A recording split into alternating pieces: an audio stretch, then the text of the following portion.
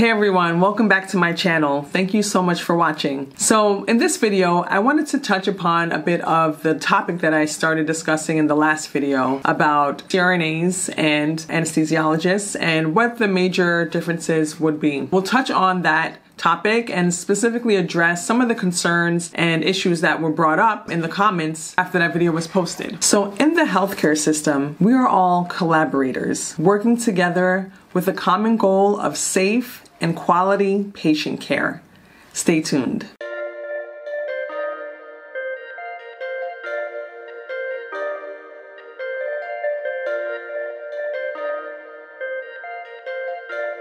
So I just wanted to touch on some of topics that came up as issues of contention in the comments after my last video. So first and foremost, the point of the last video or my intended goal with the last video was to encourage those of you out there that are aspiring to pursue careers in anesthesia as anesthesiologists and going into medical school to pursue anesthesiology. I wanted to encourage you because a lot of my questions and interactions with prospective resident candidates have been met with that question. Do you think this field is going to be around by the time I'm done? Or do you think that there's going to be any chance that anesthesiology will become obsolete? The reason why I decided to create the last video was to kind of encourage those of you out there who might be also met with the same worries. So when I first created this channel, my goal was to get out there and encourage people who were pursuing anesthesiology and needed some type of uh, guidance or motivation to go forth with their dreams. So, being a physician anesthesiologist, I'm partial to encouraging people to pursue that path. But there are different paths and different roads that will lead to the equally rewarding outcome of being able to deliver anesthesia to patients. So, much like in other fields, in um, ophthalmology, you have optometrists, and in other areas, we have nurse practitioners and family practice doctors, internists. You know, in the field of medicine, we just have so many different members of the team and we're all here working together to fill the need. As you know, our population is vast and growing and the need for healthcare is also doing the same. And we're all a part of this one large ecosystem in healthcare.